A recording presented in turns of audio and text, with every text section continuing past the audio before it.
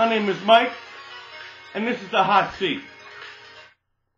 I'm doing another one, folks, back to back today because on the hot seat on this edition is the Obama administration rats out Israel again for the second time. For the second time regarding Iran. Last week, Leon Panetta said, oh, you know, I think Israel is going to attack Iran in the spring. Could be April, could be May, could be June. Nice. U.S. officials in the Obama administration leaked to NBC that Israel is working with an Iranian terror group to kill their nuclear scientists.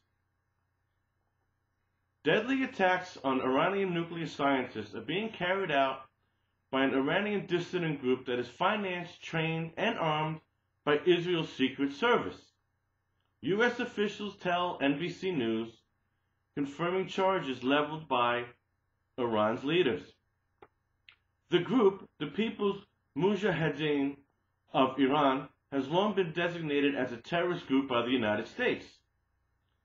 The attacks, which have killed five Iranian nuclear scientists since 2007 and may have destroyed a missile research and development site, have been carried out in dramatic fashion, with motorcycle-borne assailants often attaching small magnetic bombs to the exterior of the victims' cars. U.S. officials speaking on the condition of anonymity, oh wow, what a shock there, said the Obama administration is aware of the assassination campaign but has no direct involvement. No, just, just playing the role of rat and informant. The Iranians have no doubt who's responsible. Israel and the People's Mujahideen of Iran, known by various acronyms like MEK, MKO, PMI, AAU, whatever. The Mossad, the Israeli Secret Service, is training MEK members in Israel on the use of motorcycles and small bombs. In one case, he said, Mossad agents built a replica of a home of one of the nuclear sci- uh, scientists so that uh, the group could get familiarized with the person's home uh, to do an assassination. Ali Saf- Safavi, mm-hmm, a longtime representative of the MEK, underscored the denial after publication of this article. He's quoted, there has never been and there was no MEK member in Israel, period. The MEK has categorically denied any involvement. The idea that Israel is training MEK members on its soil borders on perversity. It is absolutely and completely false. But you know what, folks? Yeah, naturally they're going to deny that, and that's okay. Here's the problem. Here's the problem. We call ourselves the protectorate of Israel, yet, yet, twice, in less than two weeks, our administration is making statements to agitate and to instigate a war with Israel and Iran. And I'm going to say it right here.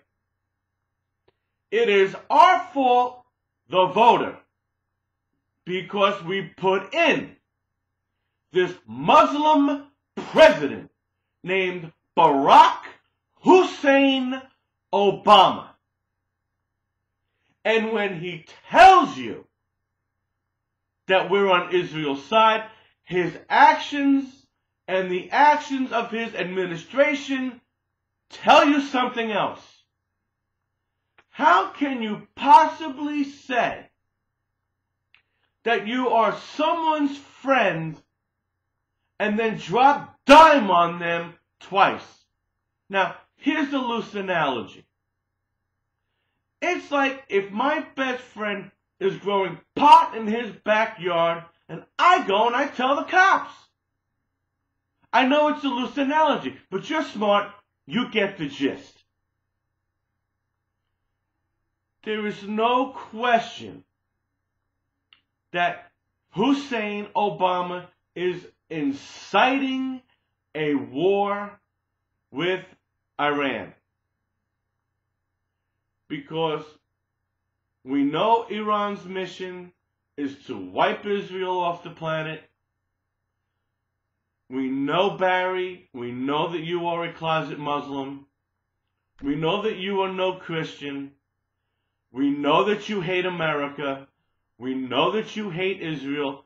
And we know that you are so desperate to be reelected that you are going to incite a war before November to boost your ratings so you can grab that second term. You are no friend to Israel. You are no friend to Judeo Christians. You are no friend to America. You are a destroyer. You might as well put a turban on your head. You might as well say, Praise Allah.